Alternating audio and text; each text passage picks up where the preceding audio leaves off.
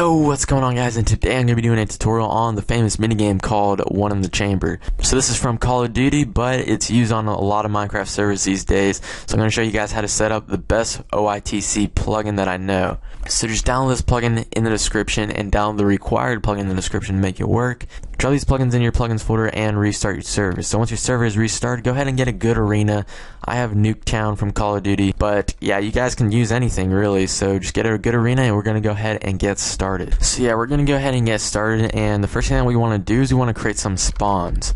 So to create some spawns, we're going to go to the place where we want to create our spawns at, where we want our players to spawn at, stand there, and this command is actually going to also create the arena name for us. So by typing in this one command that will set the spawn, we're also going to type the name of the arena. So just come up with a catchy name and type the command slash OITC, set spawn, and then the arena name that you want to call it.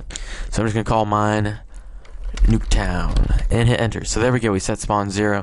And then we can also just set as many other spawns as we want just by typing in the same command in.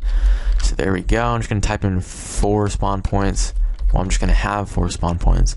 And then the last one over here. So yeah, there we go. So we set four spawn points and the first one is actually zero, so keep that in mind. Alright, so now what we're going to do is we're going to set the arena high and low points. So these are the boundaries. The boundaries, the players can't go outside the boundaries that we set. So I'm trying to keep in line with that fence right there because that's pretty much the last part of the arena. And what we want to do is we want to set the high corner of our arena and then the low corner. So the low corner would obviously be over there, and I'm at the high corner right now. So just make sure you capture everything in between those two corners. And yeah, just type the command slash OITC, set bounds, the arena name, so Nuketown for me, and then high. So there we go. We set the high boundary. So now I'm going to set the low boundary real quick. So here we are. Uh, oh, yeah, that would have been a mistake. So make sure you capture everything on this side also. And same command, except instead of high, you're going to want to type in low and hit enter. So there we go. Now we set the both points and yeah, so we're done with that part. Now the next part that we want to do is we want to set the max amount of players that can be on this game. So obviously the max wants to be the amount of spawn points that you set, the most amount of spawn points that you set. So if you set 20, then the max would be 20. I set 4, so I'm going to make that 4.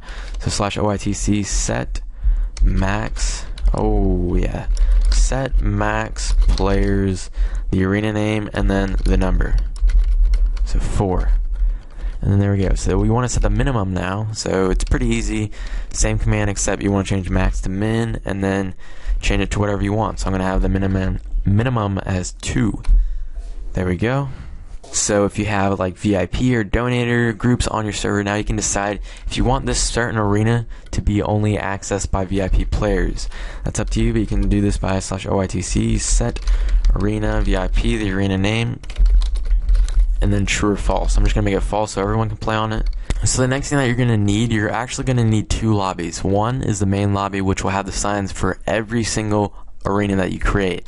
So this is the main lobby right here, and it'll have all the signs like I said, and then after they click the sign, they'll be sent to the waiting lobby, which you'll need one for each arena that you have. So this is the one I'll create for this arena right here. And so yeah, just make sure you have that. And then once you have that, just stand in your waiting lobby, and then type the command slash OITC, set lobby, and then the arena name. So Nuketown, and then yeah, so we did that. Now we can set the main lobby, stand in there, and type the command slash OITC, set main lobby, and just enter. So I think we're pretty much done. So we can just type the command slash OITC, save arena, and then the arena name. So there we go. We are done. now we can enable the arena slash OITC, set enabled the arena name, and then true. So there we go. We are officially done. Now we can just create some signs, and you guys are good to have this on your server for your players to play. So I tried creating the join sign, and it doesn't work, and I hardly know what he even means on the plugin page. But if you guys can somehow figure this out, that'd be helpful. But otherwise, I have another plugin that you guys can download, which will let you run commands through signs. So we're going to go ahead and use that instead. That'll be in the description. Just download it. Really easy, really simple, and fast. And once you have that plugin, you just want to type on the first line command in brackets. On the second line, you're going to want to type OITC.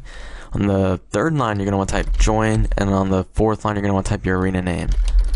So there we go. So pretty much how this works is on the first line, this is the actual command and there's no slashes needed, but every line is an additional space. So since we have three words, it's going to take up three lines. So OITC join Nuketown done, and then there we go. So if we actually test this command out by right clicking, we'll be sent to the lobby, and there we go. We are sent here, and the command sign actually works. So hopefully you guys check that plugin out and get it because it's really awesome. But yeah, so as you guys can see when I'm in the lobby, I do get some GUI items, the shop, achievements, classes so it's all really sick and as soon as bobby joined the countdown started to go down so it actually works in the experience bar which is really sick and yeah, so this is a really cool plugin. So there we go. Um, as soon as you get in the arena, there's another countdown, which I like. It's like a little grace period. And we're about to get our class, and there we go. So obviously we get the one arrow and then the bow, and if we get another kill, then we get another arrow. So it's a one-shot kill, which is pretty sick. And yeah, so there we go. Now we have the achievement First Blood, and that is awesome because it has achievements, and this plugin is awesome. So hopefully you guys did enjoy this. Don't forget to drop a like, subscribe for more plugin tutorials, and I will see you guys next time. Peace out.